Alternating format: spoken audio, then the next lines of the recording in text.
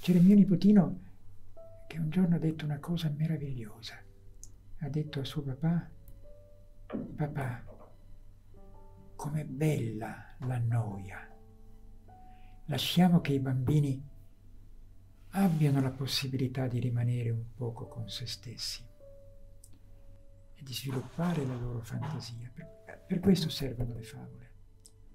Perché quando racconti una favola a un bambino, poi questa favola rimane, lavora.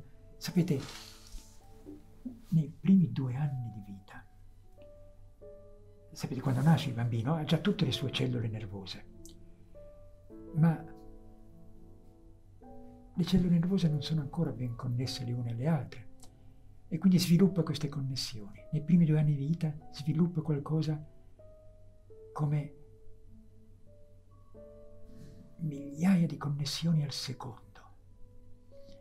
Sviluppa enormemente connessioni mentre comincia a fare le sue prime esperienze e poi taglia quelle che non servono e consolida quelle che servono. È un momento meraviglioso, ma anche in seguito, quando il bambino già comincia a comunicare con i genitori, ci sono moltissime connessioni che si devono stabilire.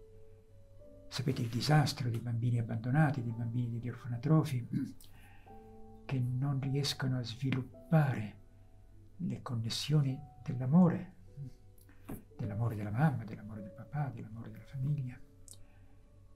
E, e le fiabe aiutano a stabilire delle connessioni che faranno di questi bambini una bella persona.